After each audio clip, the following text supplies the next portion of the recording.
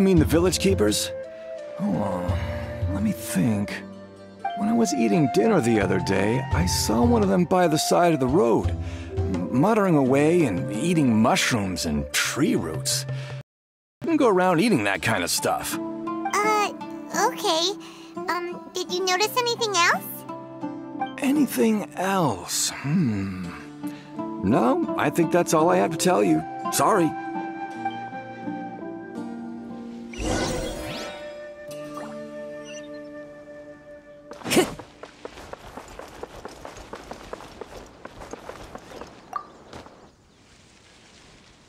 The scholars that have gone missing. Have you seen them? Those eyes. Those fierce eyes. You. You look like a real fighter. Don't change the subject. R right. You were asking about the vi- I mean, the mad scholars. I think it's been a few days since I last saw them. I usually go to bed early, so I'm not too familiar with what goes on at night. But honestly, I feel quite sympathetic towards them. Even though they act a little strange, they've helped me in the past. If it weren't for them, my house would have collapsed long ago. Do you also think Grandpa and the others are good people? Grandpa? Oh, hello there. It's little Isak. You mean that nice man who looks like your grandpa's long lost twin, right? he was actually the one who protected my house. I saw it with my own eyes. He happened to be staying near my house that day and was doing something with his hands on the ground. It still feels pretty surreal now that I think back on it. Did someone teach them how to do that? Well, whatever the case, I'll always be thankful to him and whoever taught him to look out for others. I'm pretty sure that if I ever went mad, I wouldn't be able to do anything like that. Gotcha. Thank you.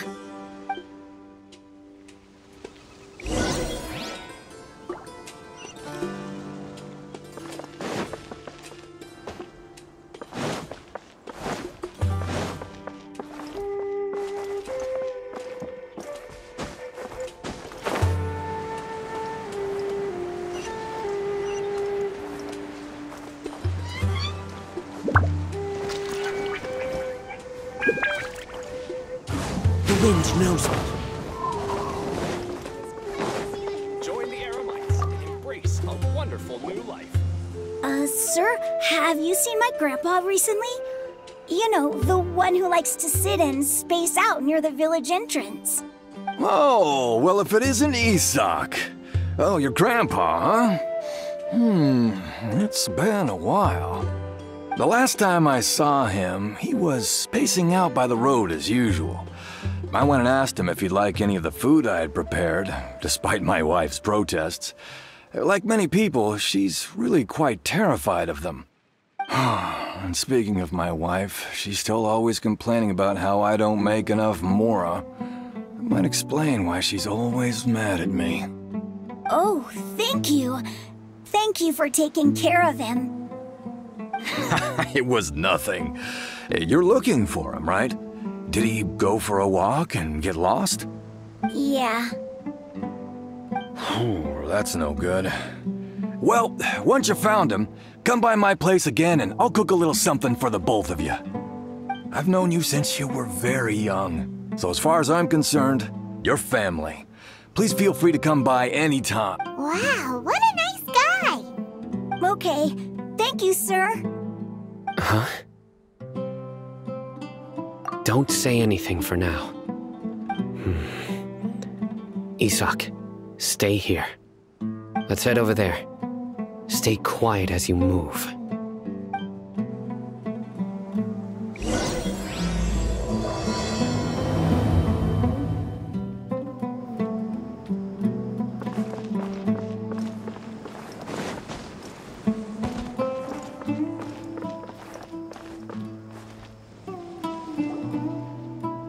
Listen, see if you can make out what they're saying.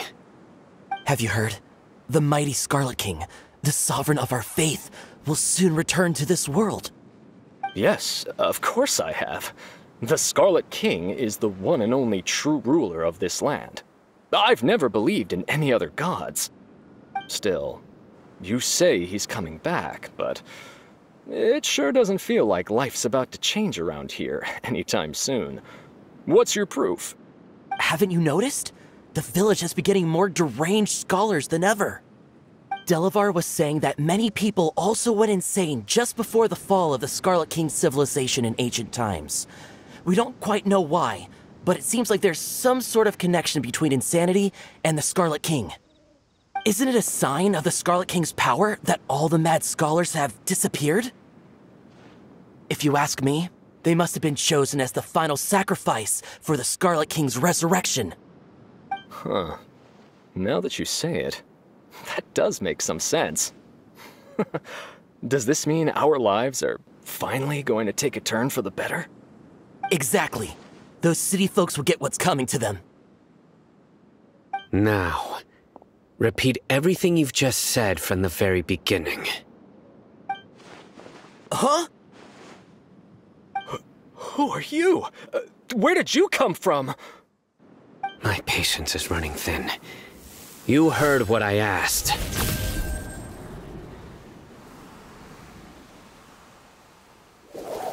Yeah, b bro, this guy's something else.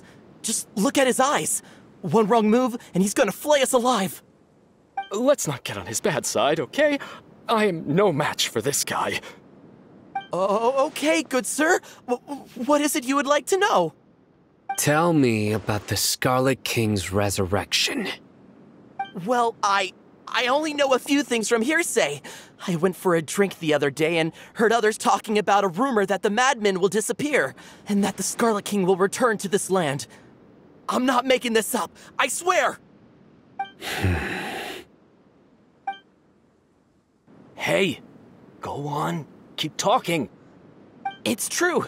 It's all true, sir. We desert folk have had more than enough of those people at the academia. They keep sending us all their mad scholars and won't let us have a good life. Would you want to live like this if you were in our place? The radicals were even more thrilled than me when they heard the news. We're all praying for the Scarlet King's speedy return. Delavar also said that once the Scarlet King returns to our side, it's only a matter of time before we conquer the land on the other side of the wall.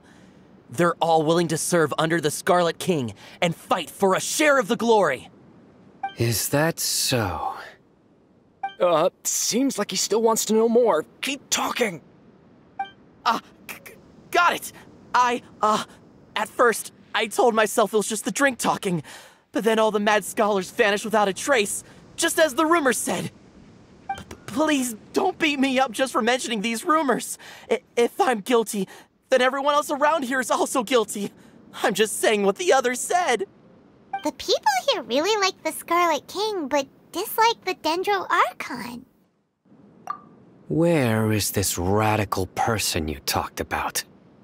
I haven't run into him over the past few days, so he probably hasn't been around the village. What about you, man? Have you seen him at all? Uh, no, uh, not at all.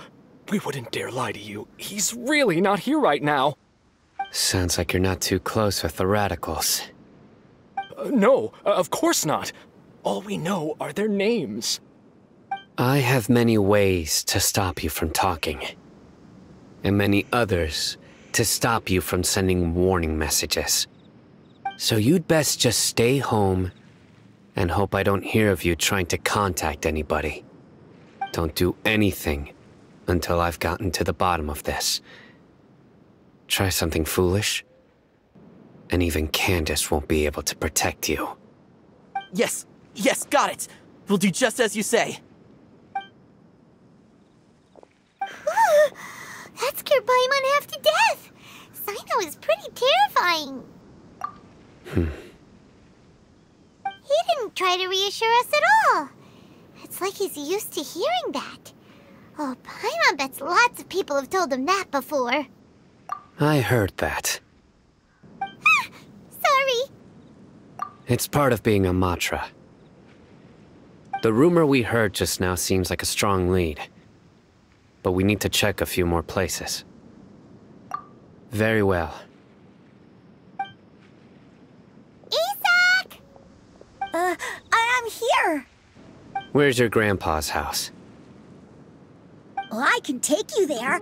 Just follow me.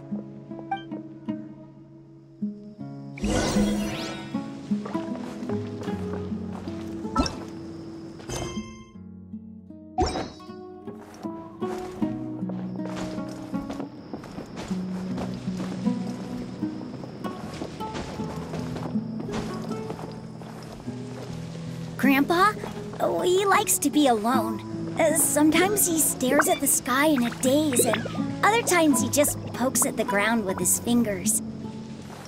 Every now and then, he yells out at the top of his lungs, so a lot of people are really scared of him. But he's a good person, really. I know he is. I swear, he, he's just like my real grandpa.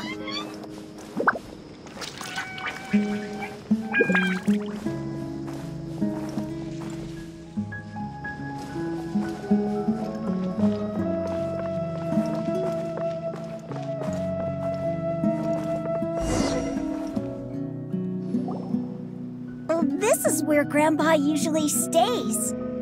There sure isn't much here.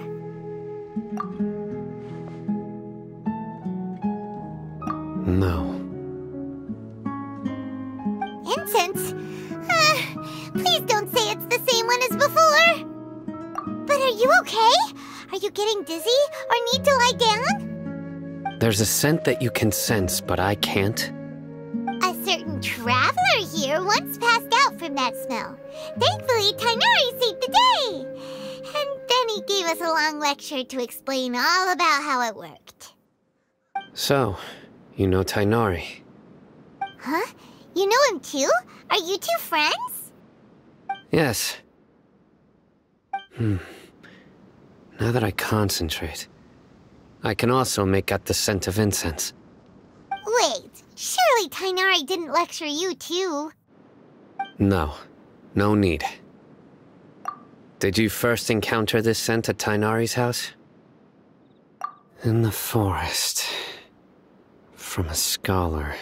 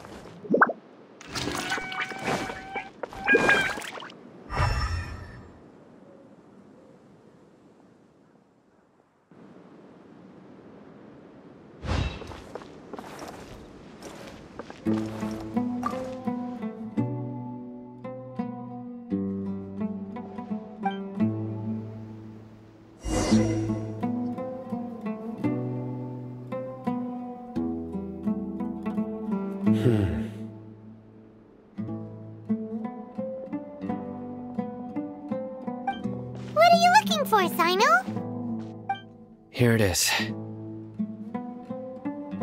Take a look right here. Uh, Paimon doesn't see anything. Although the traces have been completely buried in the sand, there are footprints here. From the size and shape, they belong to an adult male. This pattern is a common one from this area. Local shoes. This was probably someone from the village. The scent is quite faint, but still extant. The footprints head in the direction of the door, But who would come looking for Grandpa? He doesn't have any friends.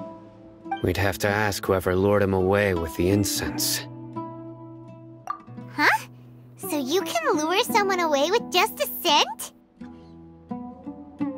Hey, what's wrong with liking good food? Everyone's got something they love in life. Exactly. Most scholars are fond of incense, since the smell supposedly helps them clear their minds and discover new knowledge. Even deep within the clutches of madness, they still yearn for their knowledge seeking days, and will follow the scent whenever it presents itself. No, Grandpa. So someone's taking advantage of their weakness? Huh. Still, Why would anyone want to abduct all the scholars? Are the rumors really true? Could the disappearance of all the mad scholars have something to do with the radicals? It's highly likely. Please, you have to save my grandpa. Grandpa's never done anything wrong. Please help him. Sounds like we'd better help get him back. Don't you worry, Isak. We won't let whoever took him get away with it. Let's head to Aaru Village and inform Candace and the others about what we learned here. After that, we'll set off to find the scholars.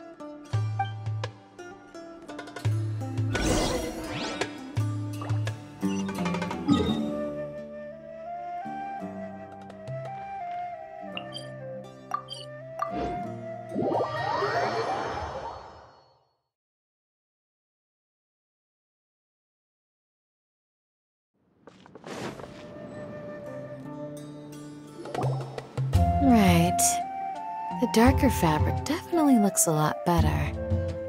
That'd be my choice, too. We're back, Candace! We've got a lot to tell you. Ah, welcome back. Sounds like everyone's friends already. Oh, Dehya's here too! You bet. So, everything goes smoothly? Reasonably. Hmm? Alhaitham didn't go with you? At all. Huh. I saw him around the village entrance earlier and figured he was investigating with you. I guess he must have gone off on his own. Did you find out anything useful? I see. So someone used a kind of incense to lead the exiled scholars away from the village.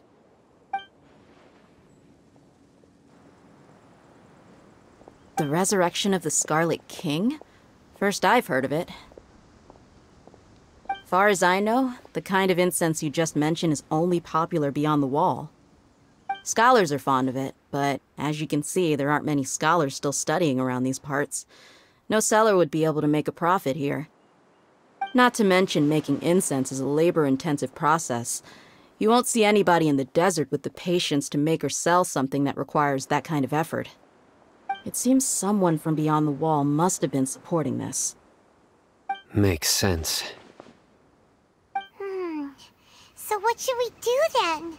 Do we go back to the academia and search for leads there? If it was any other day, that would be your next logical step.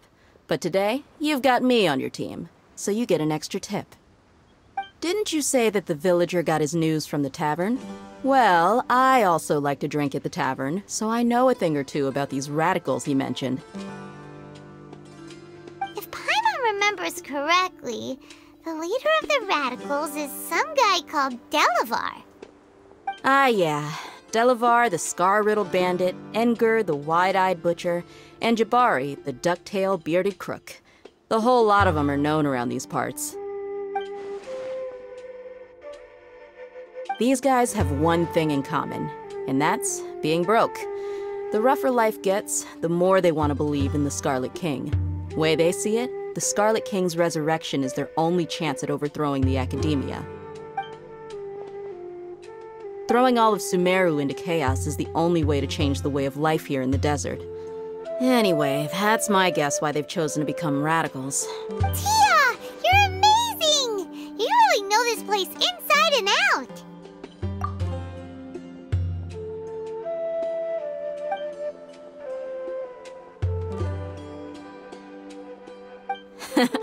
No merc can afford to slack off on gathering intelligence.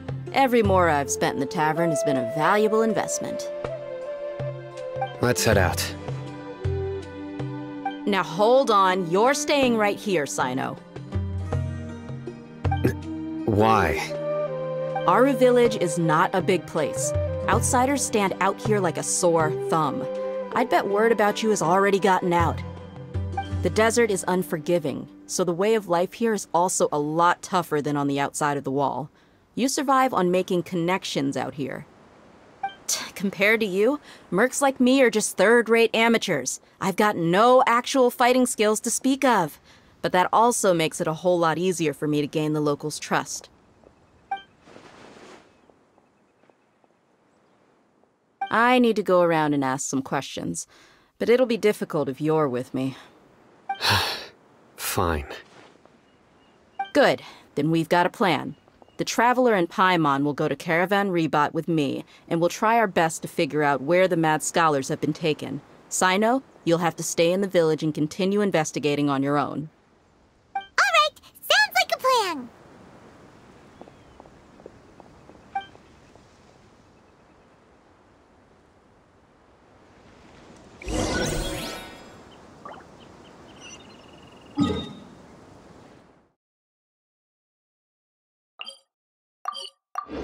Well,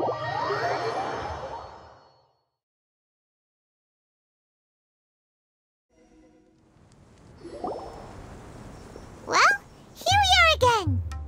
Sounds like you're starting to get familiar with the area. Paimon's amazed every time we see the wall of Samiel. How can a wall this tall even exist? It's almost unreal. I know what you mean. I had the same question every time I walked this way when I was a kid. Also, why is this high wall here? And can a wall really block sandstorms? It was only after I grew up that I realized the wall of Samiel isn't just there to keep out the sandstorms. It serves a more important purpose keeping out people like us. Sumeru is run by wise and mighty sages.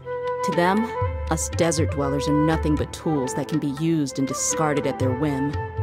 We're cheap labor, like livestock, but easier to control. Nothing more. Even if a child from the desert got the chance to obtain an Akasha terminal, almost all their requests for knowledge would be denied. The academia believes we're underserving. Geniuses like Setaria are one in a million. The other children never get a single chance to try and rewrite their fate. Even though the academia knows very well that we're humans, just as they are. That's terrible. I would tear down this wall with my own hands if I could.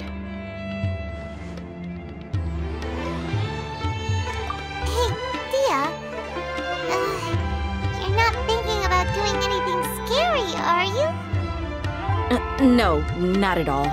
This place just gets me thinking, that's all. Besides, we're here to procure information, aren't we? Yep, we gotta catch those. Shh. Caravan Ribat is crawling with people, so be careful what you say. We don't want anyone to find out what we're here for. Our mission started the moment we arrived here. Let's go check out the tavern. Maybe we'll find someone I know.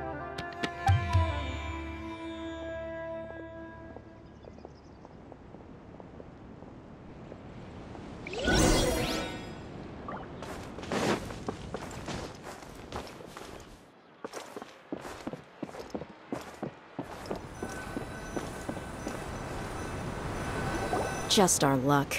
None of them are here today. You mean you don't see anyone you know? Dehya, is that you? what a coincidence. You here for a drink too?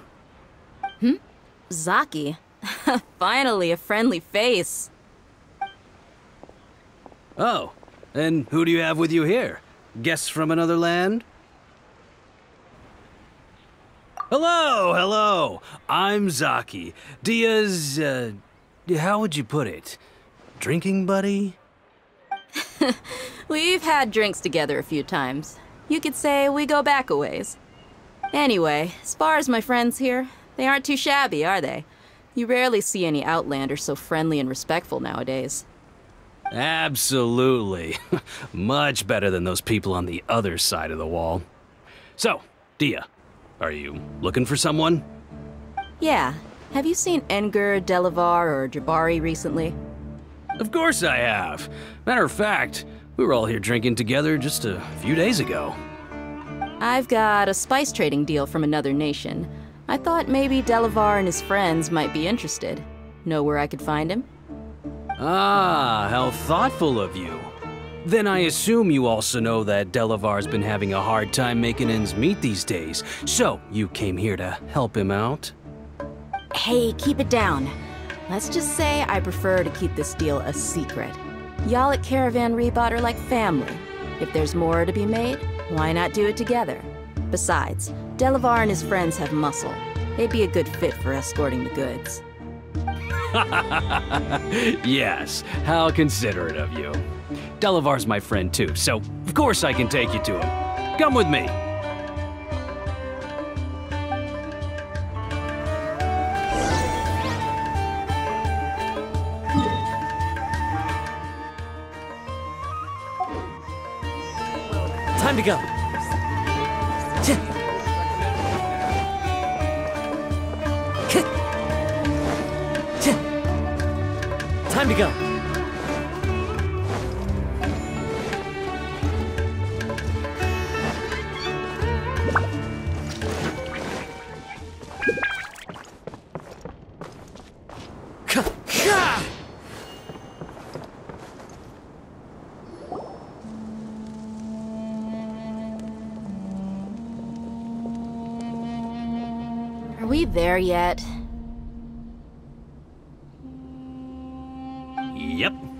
This is the place. This place is practically deserted. What are they doing in a place like this?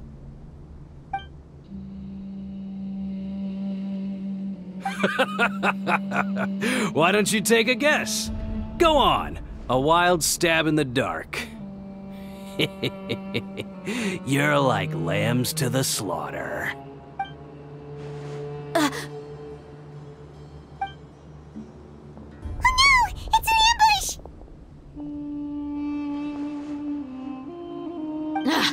What's this all about, Zaki?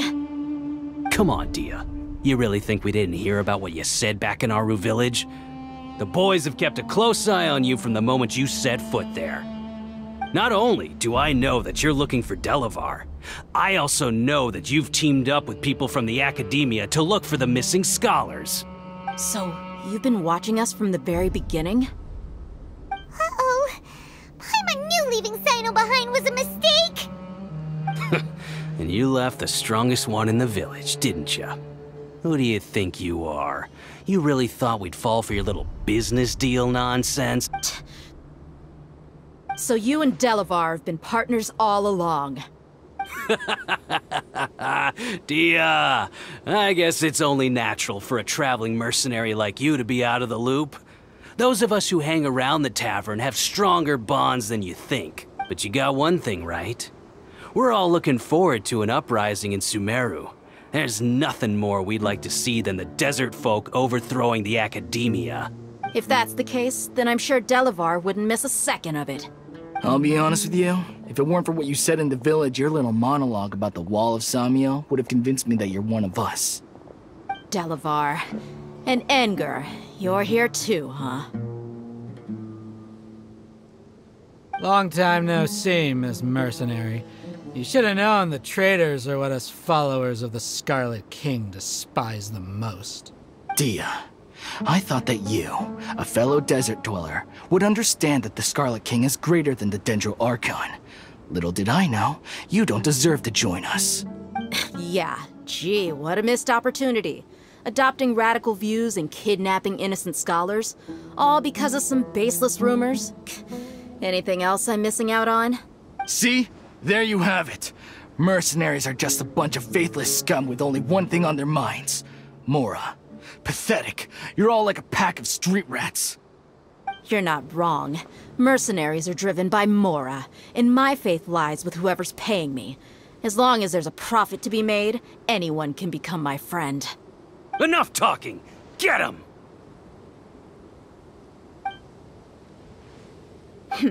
Just as I expected.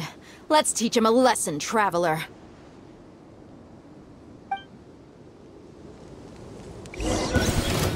Following orders. New punching. Rust rebuild!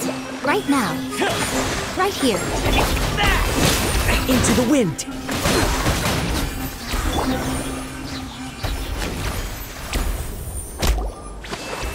Impossible! How could you? So, what do you think about your meticulous network now, Zaki? How did you say it? It's only natural for a traveling mercenary like me to be out of the loop. I'm guessing your informant told you that I'm just an incompetent merc with no real fighting skills, correct? I mean, that is what I said after all. And of course, you would believe everything he reported. The only thing you know about me is that I'm a mercenary, but you've never seen me in action.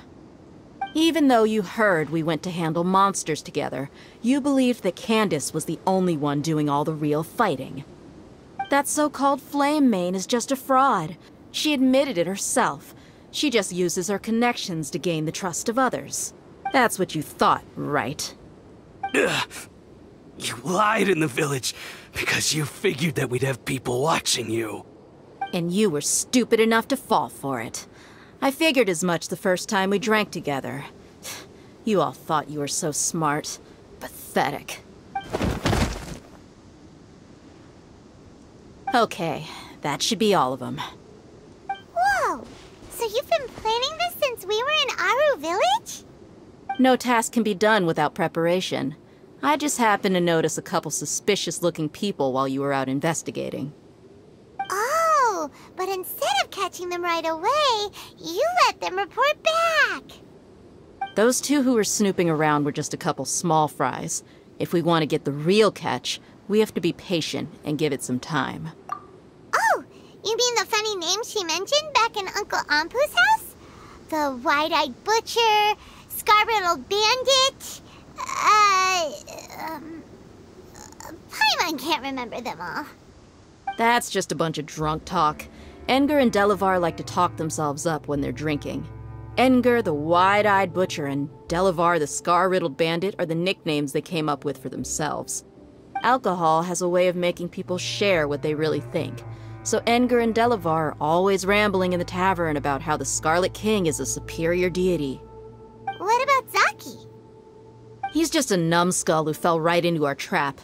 Zaki was probably the best hidden of them all. My initial plan was to find Delavar first, and then try to track him down.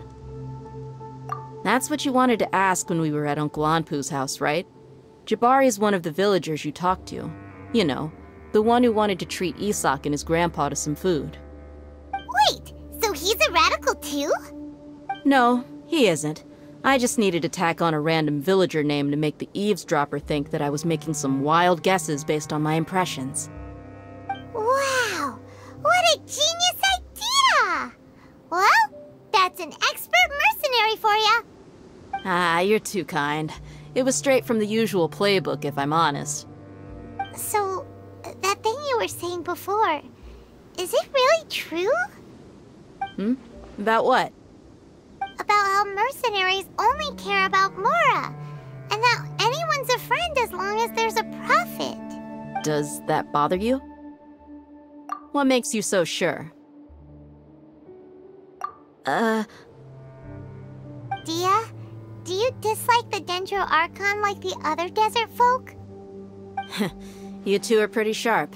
No, I don't have anything against the Dendro Archon. I've heard a lot of nice things about the Lesser Lord from Dunyarzad. I can understand her devotion and gratitude. Dunyarzad's just an ordinary person. There's no way a god would be so involved in the lives of everyday people, unless they were truly compassionate. I've begun to realize that the sages are behind everything that's happened recently. The radicals' blind belief in the Scarlet King, making the Dendro Archon out to be an enemy. It's all the Academia's trickery. But I see through it all. And unlike them, I can never be hostile towards anyone who's never done anything wrong. Dehya. Anyway, looks like we're done with business here. Traveler, lend me a hand. Let's tie him up and bring him to the village.